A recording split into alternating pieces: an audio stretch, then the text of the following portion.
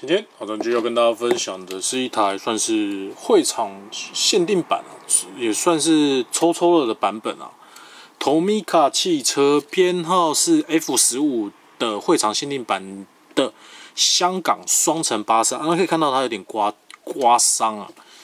这应该是香港的某种会场限定版。那它其实细节非常非常的多啊。它是由之前编号编号一九呃编号几号的 Tomica 汽车。去做修改的啊，然后是一九七七年的车底啊，然后可以看到这边有那个 Tomica 那个两个小人的标志，其他两个小人标志是有进化的。你像这个版本是，注意看这边是两个有有那个小人的啦，这里这有两个小人标志，现现在好像没有哎，我好像没有去注意看。那车底车底是这样子啊，那侧面这样子，然后可以看到这掉漆地方很多啊。然后什么像这边有什么双层巴士，然后多美车空气调节，代表它里面是有冷气的。然后这边有无人售票车啊，所以它是单人操作的。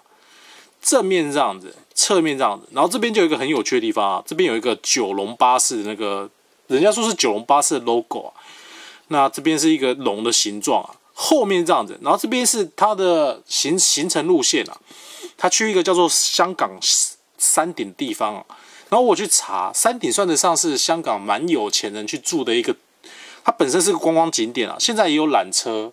那以前住，呃，以前住的我不知道，但现现在如果住在，如果说他住在香港山顶的人，应该基本上都是蛮有钱的人，有点像我们现在这边我们讲的那种阳明，说你现在住在阳明山那种感觉，大概是这样。算是一个个人细节，觉得蛮有趣的一款。然后这边有个龙的标志啊，前面车头上。很全，那他会做这台车款的颜色造型，它其实还蛮讲究的。然后他是说，这是所谓的一九三三年的九龙巴士。然后以前为什么会有巴士？是因为香港很多地方所谓的香港岛，我们讲的香港岛是有很多所谓的电车行驶啊。但是所谓的山顶，对，就是山顶到那个香港的哪边？呃，我我没有查到。是没有所谓的电车系统的，所以你必须坐巴士。然后以前所谓的巴士还是单层的，哎，单面呃单层的，所以一一直到一九四九年才出现了本人现在手上拿到的这一款，一九四九年的开始才出现了所谓的双层巴士啊，然后叫做九龙巴士啊，还蛮有趣的。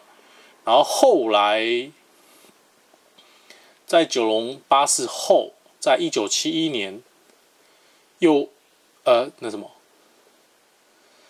又因为那个那叫什么，又开始改动啊，基本上就是以前有专利啊，基本上我们讲的肥缺啊，蛮有趣的。